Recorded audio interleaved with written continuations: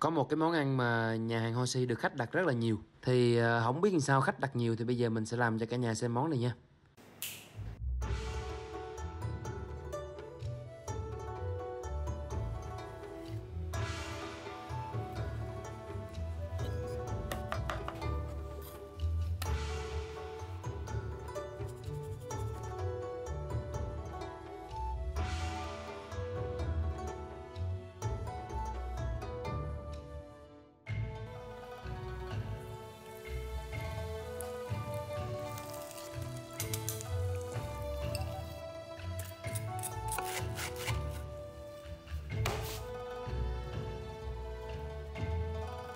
Nhìn cái món này ờ, làm khá là công phu luôn cả nhà ha.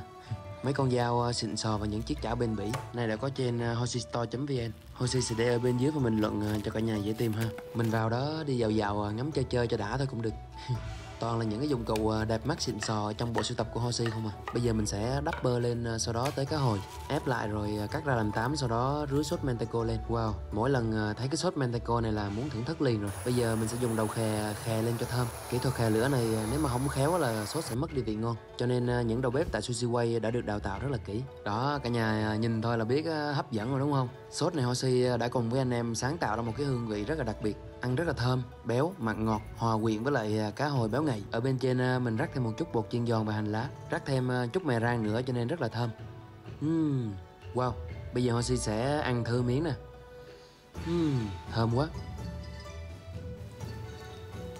uhm. tất cả những cái hương vị tinh khiết và tinh túy hòa quyện cùng với lại cơm sushi dẻo dẻo và rau củ giòn giòn thanh mát nữa uhm. Lễ này à, cả nhà cứ gọi món cơm cuộn cá hồi sốt Manteco là có liền. Những cái loại gia vị dụng cụ mà Hoshi tin dùng mà cả nhà thường hay thắc mắc nhắn tin hỏi Hoshi á Mình cũng sẽ để thông tin tìm hiểu ở đây cho cả nhà luôn ha. À đừng quên like, share, đặc biệt là bấm theo dõi trang để đón xem những tập tiếp theo nha. Hẹn gặp lại